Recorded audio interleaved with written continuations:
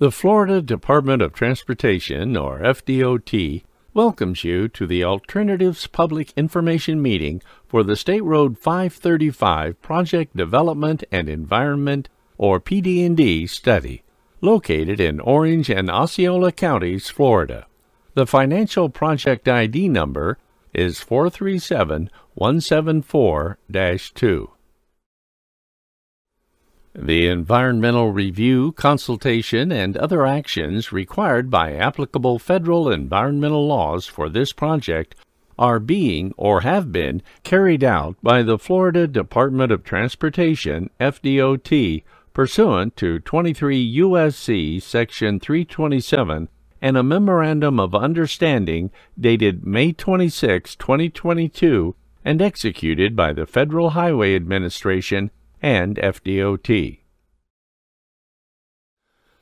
The Florida Department of Transportation has complied with various non discrimination laws and regulations.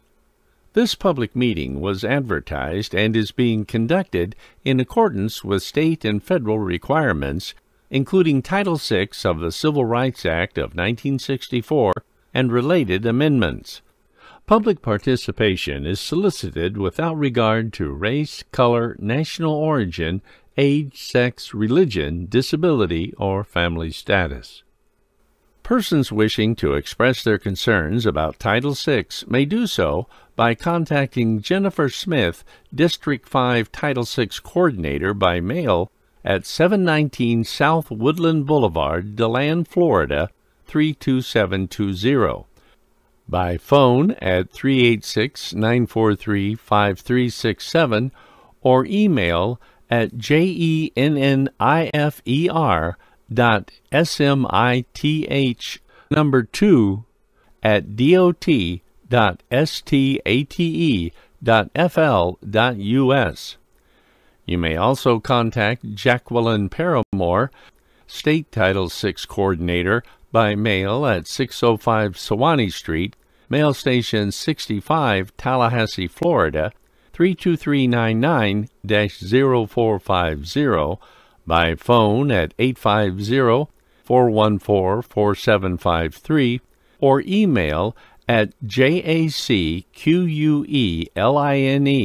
dot p-a-r-a-m-o-r-e at dot.state.fl.us. This information is shown on a sign at the in-person location on the project website and in the meeting notifications.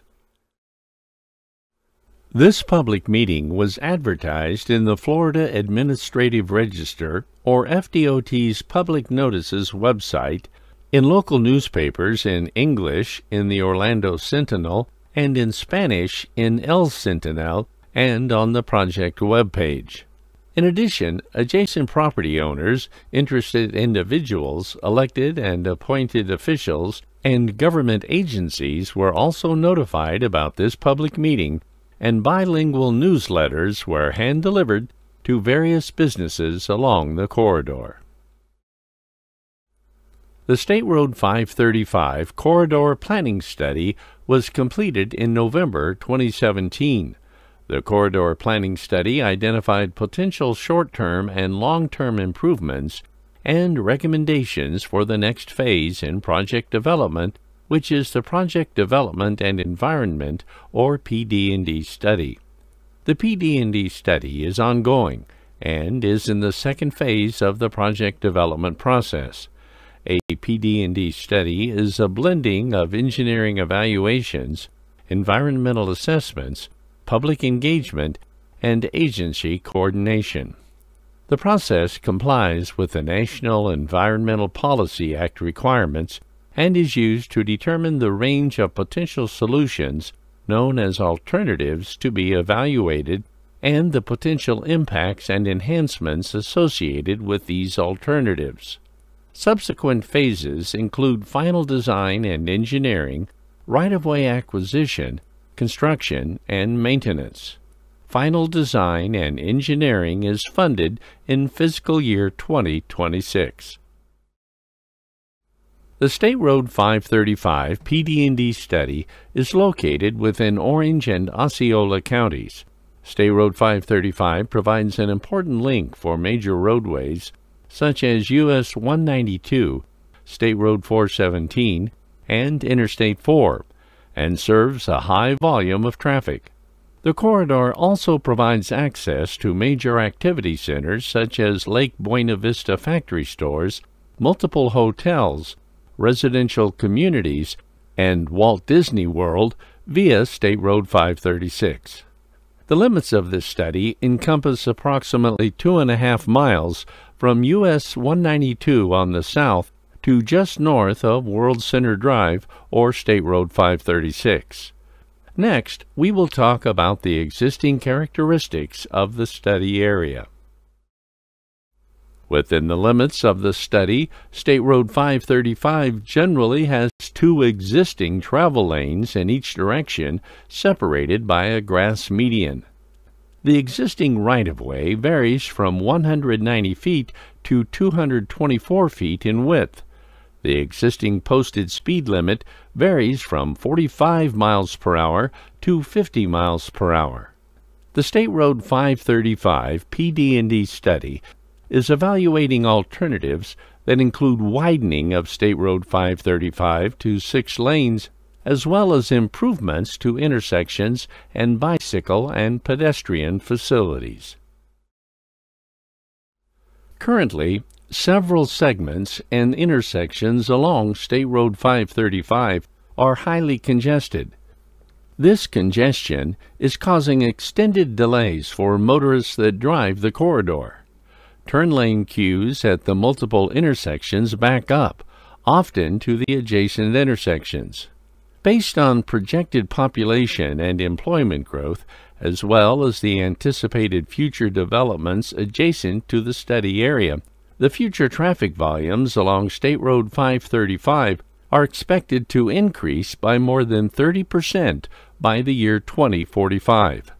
Without any corridor improvements, the volumes and delays for motorists are anticipated to increase.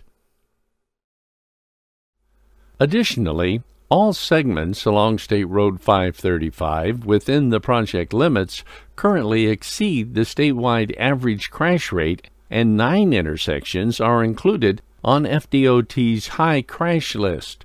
This graphic, or heat map, represents the concentration of crashes recorded within the study area in the five year span from 2014 to 2018. The crash history along the corridor emphasizes the need for this project. There are currently gaps in the sidewalks and bicycle facilities along State Road 535. Numerous pedestrian and bicycle crashes have occurred along the study corridor within a five year period. Safety and traffic conditions are anticipated to worsen if no improvements are implemented along State Road 535. This project is needed to improve traffic operations and mobility, reduce congestion, and enhance safety for all modes of travel, including bicyclists and pedestrians. The purpose of this study is to develop and evaluate alternatives that will accommodate the existing and future travel demand, improve safety, and enhance the pedestrian environment. A no-build alternative and three build alternatives are being considered. The no build alternative assumes that no improvements would be made to State Road 535 within the limits of this project. The no build alternative results in degraded future traffic operations and increased congestion. Additionally, the current bicycle and pedestrian facilities would not be improved. The no-build alternative does not meet the project purpose and need. All build alternative options include three travel lanes in each direction, separated by a grass median. Pedestrian and bicycle facilities would be fully connected. The three alternatives include the following. Alternative 1 consists of inside widening of State Road 535 to a six lane roadway.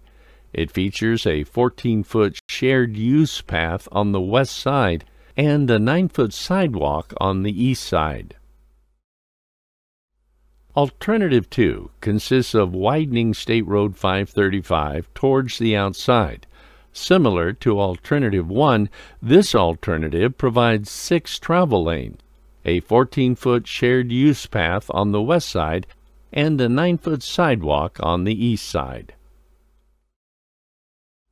Similar to Alternative 2, Alternative 3 consists of widening State Road 535 towards the outside to a six lane roadway. This alternative features 7 foot separated bike lanes and 9 foot sidewalks on both sides of the roadway. In addition to widening the roadway to six lanes, intersection improvements are being considered. These intersection improvements include traditional signalized intersections and several innovative intersection types. Innovative intersection types are designed to reduce the number of signalization movements within the primary intersection and provide operational and safety benefits. The innovative intersection types that are being considered for this project include displaced left turns, quadrant roads, median U-turns, and loop roads. Information regarding the various intersection concepts that are being considered will be discussed on the next slides. At several locations, multiple intersection options are being considered. We will now discuss the options at the intersection of State Road 535 at World Center Drive.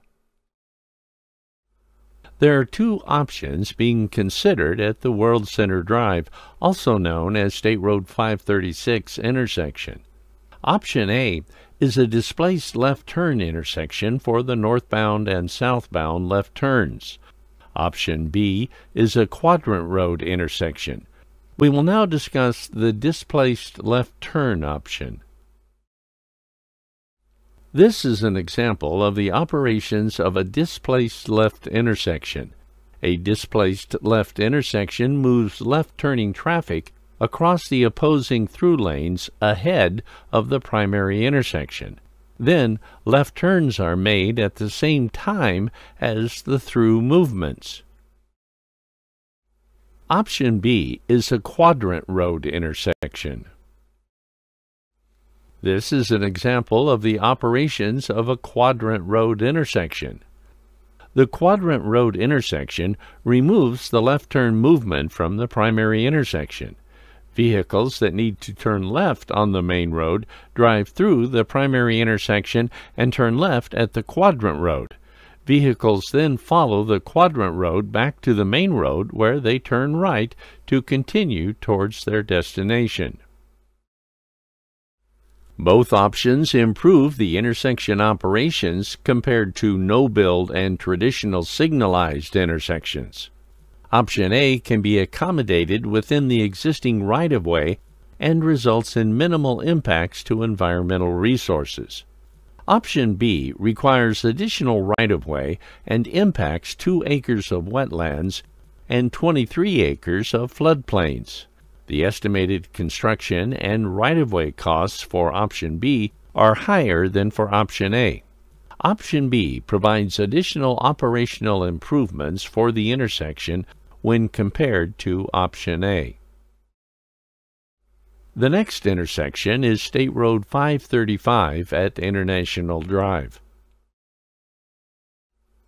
The intersection types being considered at International Drive are the same as those at World Center Drive and include Option A, a displaced left turn for the eastbound and westbound left turns, and Option B, a quadrant road on the southwest quadrant of the intersection. Both options improve the intersection operations compared to no-build and traditional signalized intersections. Option A can be accommodated with minor right-of-way and environmental impacts. Option B requires additional right-of-way and impacts 13 acres of wetlands and 17 acres of floodplains. The estimated construction and right of way costs for option B are higher than for option A. Option B provides additional operational improvements for the intersection when compared to option A. The next intersection is State Road 535 at Polynesian Isle Boulevard. There are two options being considered at the Polynesian Isle Boulevard intersection. Option A is a median U-turn for the northbound and southbound left turns, and option B is a quadrant road. This is an example of the operations of a median U-turn intersection. A median U-turn intersection type removes the left turn movements from the primary intersection and reroutes them to a signalized U-turn intersection just past the primary intersection. Vehicles then make a U-turn back towards the primary intersection and turn right to continue to their destination. Both options improve the intersection operations compared to no-build and traditional signalized intersections. Option A can be accommodated within the existing right-of-way and results in minimal environmental impacts. Option B requires two acres of additional right-of-way and results in minimal environmental impacts. The estimated construction and right-of-way costs for option B are higher than for option A. Option B provides additional operational improvements when compared to option A. The next intersection is State Road 535 at Poinciana Boulevard. There are two options being considered at the Poinciana Boulevard intersection. Option A provides a triple left traffic signal with three eastbound left turn lanes. Option B provides a loop road. This is an example of the operations of a loop road intersection. The loop road intersection removes left turn movements from the primary intersection. Vehicles that need to turn left on the main road drive through the primary intersection and turn right onto the loop road. Vehicles then follow the loop road back to the main road where they turn right to continue towards their destination. Both options improve the intersection operations compared to the no-build alternative. Option A can be accommodated within the existing right-of-way and results in minimal environmental impacts. Option B requires additional right-of-way and impacts 3 acres of wetlands. The estimated construction and right-of-way costs for Option B are higher than for Option A. Option B provides additional operational improvements for the intersection when compared to Option A. The PD&E study is evaluating the potential impacts and benefits to the natural, social and economic, cultural, and physical environments associated with each alternative. Avoidance or minimization of impacts to these features is a key consideration. In addition to these elements, a preliminary drainage analysis including alternative pond sites will also be conducted. The no-build and build alternatives were evaluated and a summary of the potential benefits and impacts are summarized on this slide. The no-build alternative assumes that no improvements would be made and no direct impacts are anticipated. However, the no-build option does not address the existing or future needs of the corridor. All build alternatives under consideration are anticipated to accommodate future traffic demand, improve safety, and enhance bicycle and pedestrian connectivity. Although some right-of-way acquisition may be required, no significant impacts are anticipated to the social, cultural, natural, and physical environments with any of the build alternatives. The PD&E study began in 2020 and it is expected to be completed in 2023.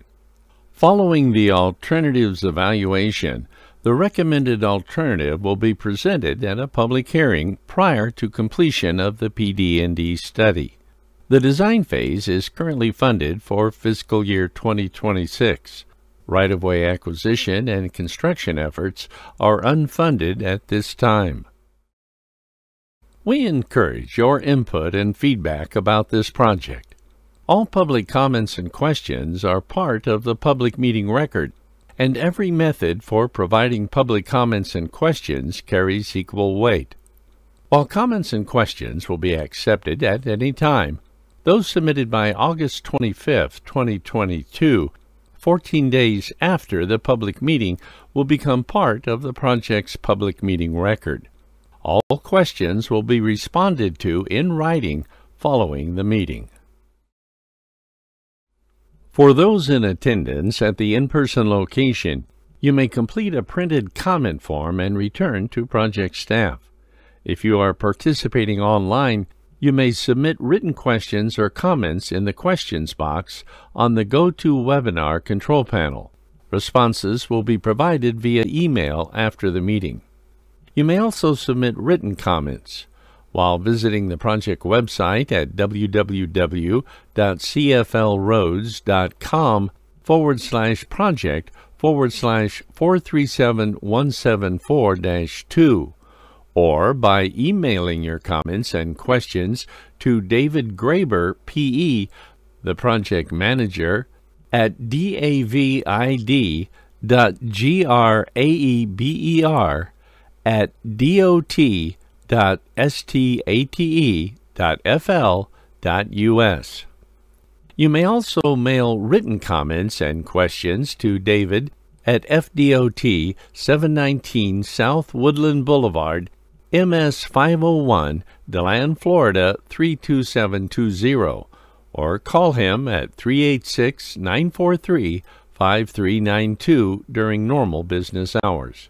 The contact information is also available on the meeting notices, newsletter, and comment form. On behalf of the Florida Department of Transportation, thank you for attending this public meeting and providing your input on this project. All public comments and questions are part of the public record. If you have comments or questions after the meeting, please submit them by August 25, 2022. All questions will be responded to in writing following the meeting. Contact information, the presentation, project documents, and other exhibits displayed at the public meeting will be posted on the public website at www.cflroads.com forward slash project forward slash 437174 2. Thank you for participating and have a good evening.